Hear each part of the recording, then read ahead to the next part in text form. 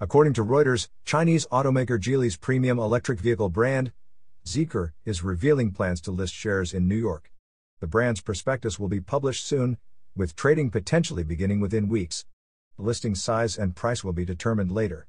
Zeekr confidentially filed for a U.S. initial public offering last December, seeking to raise over $1 billion. Zeekr, founded in 2021, ranks 13th in China's EV sales with over 79,000 units sold in the first nine months of 2023. Its best selling EV, the 001 crossover, is priced at around $37,000. Zeekr plans to expand into overseas markets, including the Netherlands, Sweden, Germany, Israel, and Kazakhstan. You are listening to UON News.